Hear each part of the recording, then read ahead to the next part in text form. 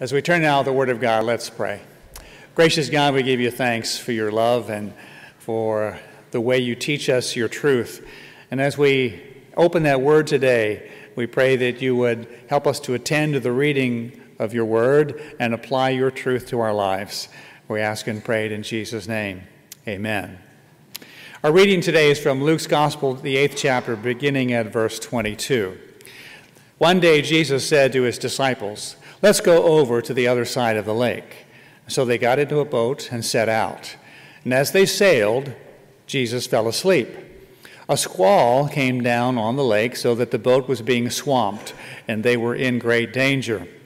The disciples went and woke him, saying, Master, Master, we're going to drown. He got up and rebuked the wind and the raging waters. The storm subsided, and all was calm. Where is your faith? He asked his disciples.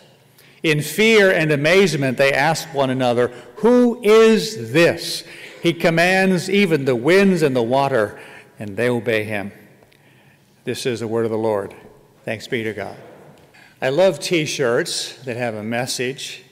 Many of us have t shirts that identify us as fans at different sports teams or universities. I'm sure there's some Michigan t shirts represented here at some point. That's the, the Wilkins family, they're Michigan fans. And some of us have t shirts that have various messages on them. I have one t shirt that says, You can't fix stupid. It has a, an image of a, a, man sitting on the limb of a tree and sawing it off and showing that, you know, once he's done, he's going to fall off himself. Well, doing a, a quick search of the internet, you can find a host of messages on a t shirt. I'll try to be nicer if you try to be smarter. Four out of three people struggle with math. That's certainly in that, I need that shirt. Is it time for second breakfast yet? That's a reference to Lord of the Rings movies. And read books, not t shirts, probably written by a librarian. One of my favorite t shirts is um, the one that has this message keep calm and carry on. That message has been parodied uh, you know, many times with different versions of the message. Things like keep calm and go fishing, keep calm and call Batman keep calm and eat cookies, keep calm and use the force. And one that I saw just this past week on Facebook, a new parody, keep calm and wash your hands, which of course is a reference to the, what's going on with the coronavirus. The phrase keep calm and carry on actually goes back to England when the British were preparing for war with Germany, expecting to be bombed by the German Air Force, which of course occurred, the British government produced over 2 million of these posters with that message keep calm and carry on. The message reflects the stiff upper lip attitude of British culture. The government wanted people to remain calm in the face of adversity and to keep doing what they normally do carry on. The message reminds me of this story from the Gospel of Luke, where the disciples are with Jesus in this boat, and all of a sudden a storm arises. And it was so bad that the disciples feared for their lives. The text tells us that the boat was filling with water and they were in great danger. In the meantime, Jesus is asleep. This was not something they imagined. The danger was real. And from what I've read about the area, the Sea of Galilee, it is subject to sudden violent storms because of its location. When cool air from the Mediterranean Sea comes into contact with the hot, humid air that rests over the Sea of Galilee, it often results in sudden, violent storms. That actually reminds me very much of the kind of weather we sometimes experience here in Central Florida with our proximity to oceans on either side of us and lakes that are north and south of us. Well, in ancient times, they didn't have access to AccuWeather forecasts that they could consult before they started their day, and they didn't have smartphones that warned them of severe weather to come. And so these storms on the Sea of Galilee sometimes caught them by surprise. There are two things I want to lift up about this story today. That the first one relates to how we grow in our knowledge of Christ, and the second relates to how uh, his power to help us deal with the storms of life. First, The calming of the storm was a part of the incremental revealing of the Lord's identity to his disciples. When the disciples first accepted or answered the call, the invitation to follow Jesus, at first they didn't know much about him. They knew, they could tell that he had this charisma and personality that was compelling. You know, it, it led them to, to drop everything and follow him, but they did so without knowing much about him. They saw that he had the power to heal different diseases, and so this was appealing. They were impressed with his teaching, especially his parables, and the way he interpreted the law of Moses with a, a different or special kind of authority. They even saw him raise a young man from the dead. Later, they would see him cast out demons and feed a huge crowd of people with a, a, handful of fish and a couple loaves of bread. And they would see him, some of them would see him talking to Moses and Elijah on the mountain during his transfiguration. But the really big reveal, of course, didn't come till much later when Jesus died on the cross and then rose from the dead after three days. At this point, they were just starting to learn about Jesus, and they were amazed that this man had power over the natural elements. Who is this man that even the winds and the waves obey him? The Gospels, of course, were written after the cross and resurrection. The early church looked back at the life and ministry of Jesus through the lens of those events, knowing that Jesus was Lord and Savior, the very Son of God, the Messiah that had been predicted in the Old Testament. But at this point, the disciples did not know that.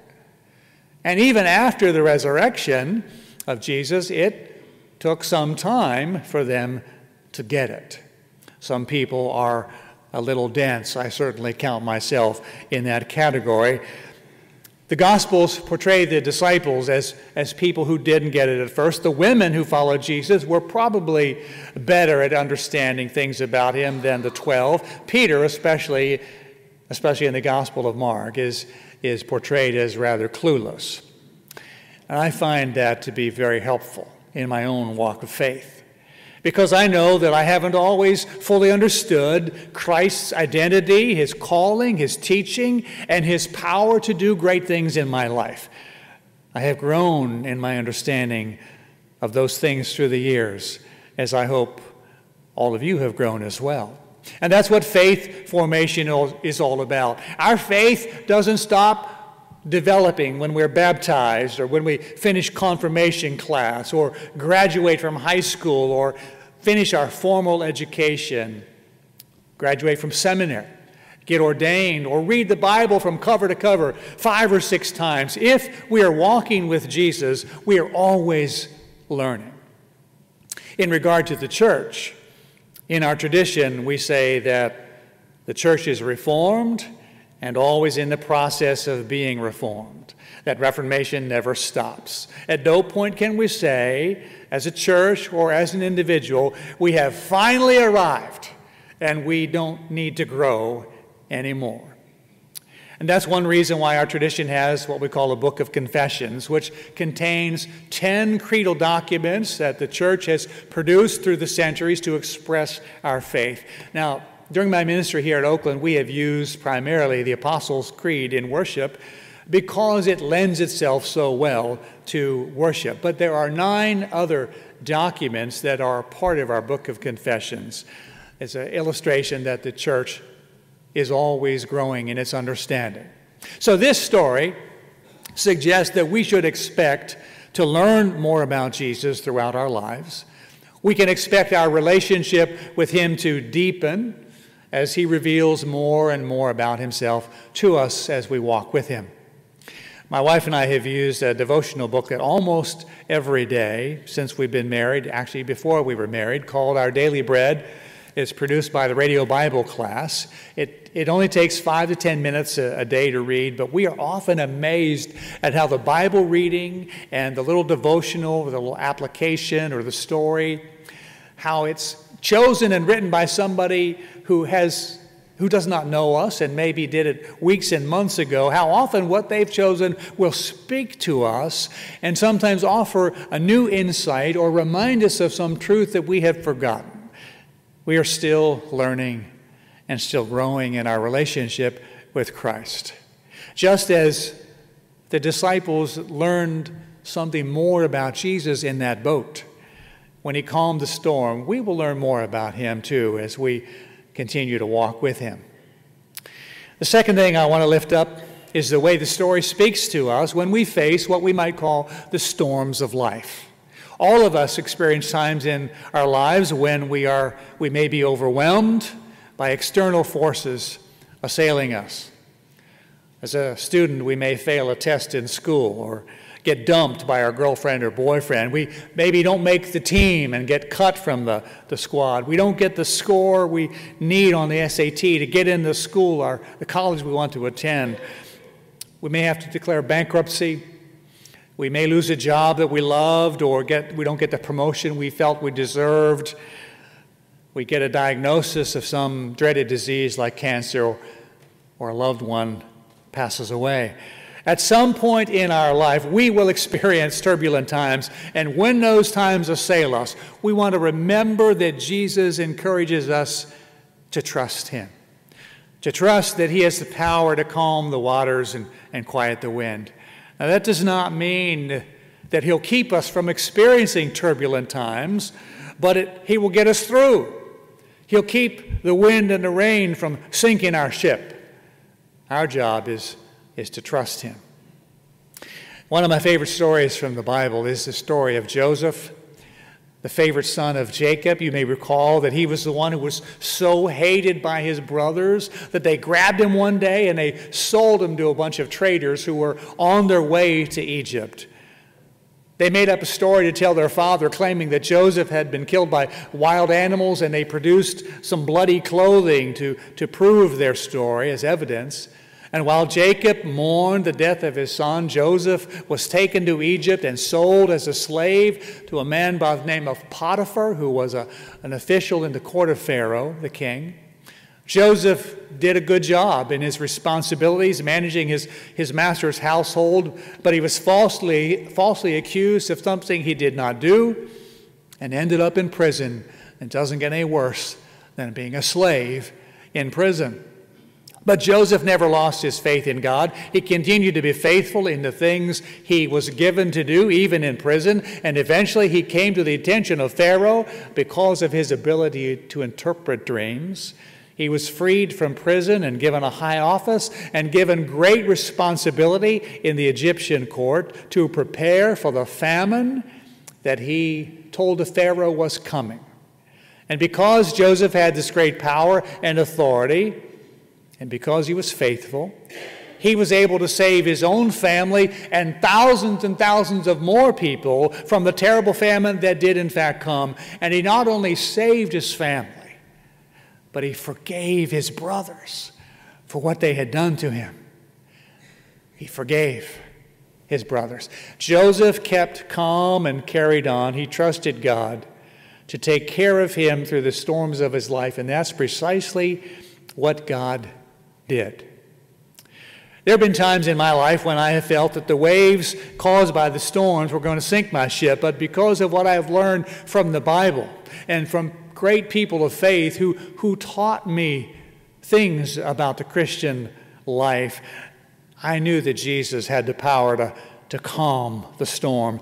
I've learned to have faith in the one who calmed that storm on the Sea of Galilee so many years ago. He is still in the business of rebuking the wind and the raging waters that threaten his people.